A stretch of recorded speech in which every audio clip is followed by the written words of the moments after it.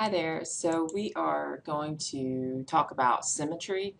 Um, I'm going to show you on Desmos what symmetry looks like as well. Personally, I've kind of become a, a more of a visual learner um, as I've gotten older, and I know some of my students come into my class as a visual learner.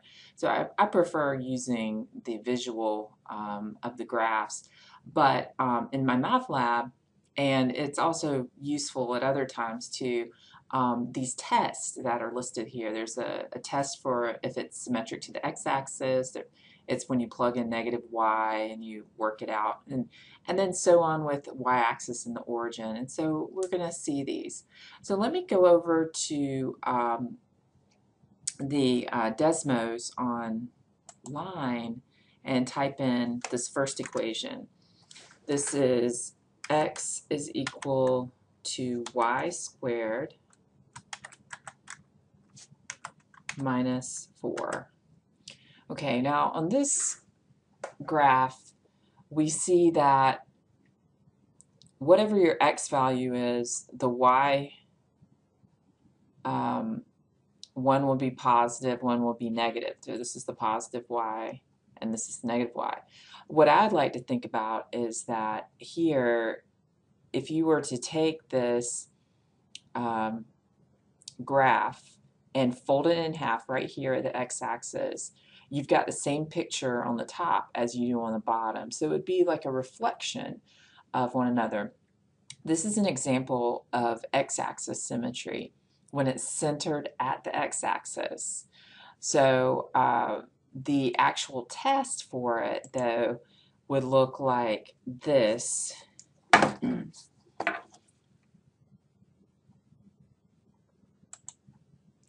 the test would be if you plug in negative y, so we'll have x is equal to negative y.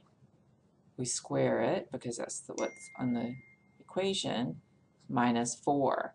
Now, if I do this negative y times negative y, I'm going to get a positive y squared minus 4.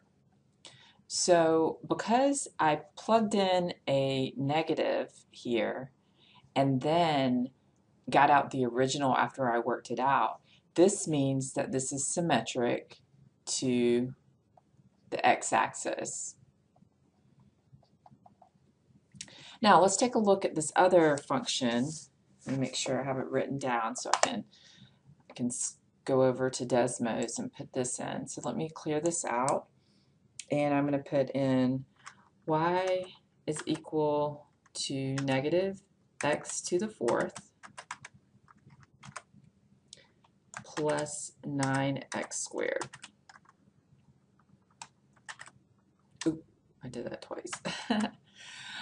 Okay, so here is my graph. Now I'm going to just zoom it out a little so I can see everything. So you see how this one is symmetric to the y-axis. That means that if I look here at the y-axis, if I were to fold this in half, if I could just take it like a piece of paper, fold it in half, on both sides it's going to be the same type of thing. And I'm, I'm sure I could um, pull this down a little bit this. So zoom it in just a bit. There we go. It's a little bit better. So um, basically, you know, up here at this peak, we're at negative 2.121 and at 20.25, right? Negative x, but uh, the positive y. And here we're at positive 2.21 at 2025. So these are mirror images of one another, where just one happens to be negative, one happens to be positive. Very similar to the x-axis symmetry.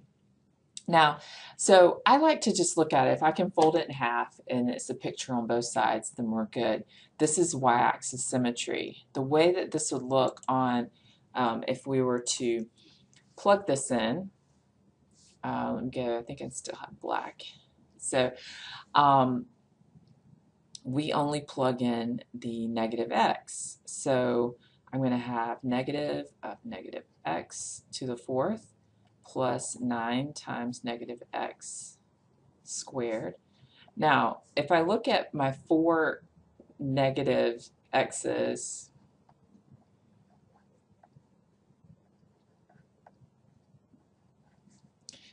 these two give me x squared, these two give me x squared. So I still have this negative out here. So what this ends up being is a negative x to the fourth. It's just the original. And then when I just multiply two negative x's together, I get the same thing. I get back to the original. So this is how you do it algebraically. So you could either look at it visually or you can do it algebraically. Either way, but we get the original. So with this original, we can say, oh, this is symmetric to the y-axis. Not a big deal. Okay.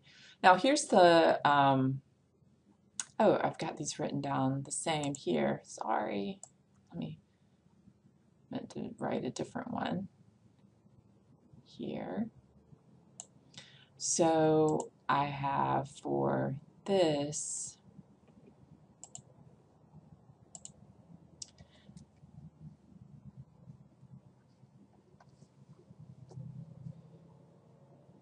x cubed minus 16x.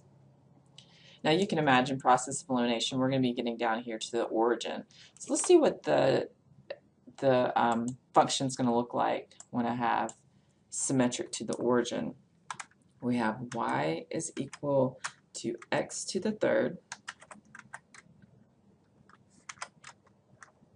minus 16x.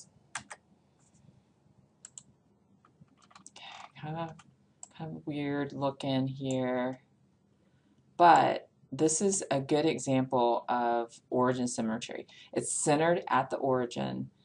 Um, basically for these, if you were to take this, you see this point here, negative 2.309, 24.6, um, and you go down to the bottom here, you see that you've got the positive. It's kind of nice that you'll have positive x, but then the negative of the same point. They're, they're kind of a reflection of one another. Um, just you switch these negative and positive. It's, it gets a little tricky. You don't want to think about it too much. Basically, for origin symmetry, you can flip this one over and then fold it in half like if you brought this down here and then folded it in half, you'd have the same picture. It's, it's a little wonky with um, origin, but one thing you can bet on is that with origin symmetry, it's going to be centered at the origin, which is at 0, 0, and you're going to have this type of shape for it. Now, as far as the algebra part, I don't know if you'd want to do that because it's a little more involved, but we're going to be using this a little bit later, so it, it may be helpful to, um, so hopefully um, you can follow this. If I plug in a negative y and I plug in a negative x, that's the actual test for it. So I have three negatives here. So that one is a negative x to the third minus, and then this negative x changes it to a plus 16x. So this is what I'm looking at. Negative y is negative x cubed plus 16x. And with this, if I then take a negative 1 and multiply over here, and then I take a negative 1 and multiply over here, I'm going to end up getting x cubed minus 16x, and this will be positive y, which is we're back at the original. So when we get back to the original, we are the symmetry.